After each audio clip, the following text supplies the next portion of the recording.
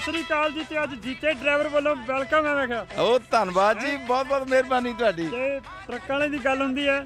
ਤਾਂ ਮੁੱਛਾਂ ਦੀ ਗੱਲ ਤਾਂ ਛੱਡਦੀ ਛੱਡਦੀ ਹੈ। ਤੇ ਮੁੱਛਾਂ ਦੀ ਗੱਲ ਹੁੰਦੀ ਹੈ ਤਾਂ ਪੰਮੀ ਬਾਈ ਦੀ ਗੱਲ ਤਾਂ ਆਉਂਦੀ ਆਉਂਦੀ ਹੈ। ਵਾਹ ਜੀ ਵਾਹ ਵਾਹ ਜੀ ਵਾਹ। ਗੱਡੀ ਜੱਟ ਦੀ ਤੇ ਧੂੜਾਂ ਪਈ ਪੱਟ ਦੀ ਗੱਡੀ ਜੱਟ ਦੀ। ਜੱਟ ਦੀ ਤੇ ਧੂੜਾਂ ਪਈ ਪੱਟ ਦੀ ਨੀ ਤੇਲ ਪਾਣੀ ਫੁੱਲ ਰੱਖਦੇ ਚੱਲੀਏ। ਚੱਲੀਏ ਨੀ ਗੱਡੀ ਵਿੱਚ ਪਾਉਣ ਬੋਲੀਆਂ ਨਹੀਂ ਸੁਣ ਬਲੀਏ।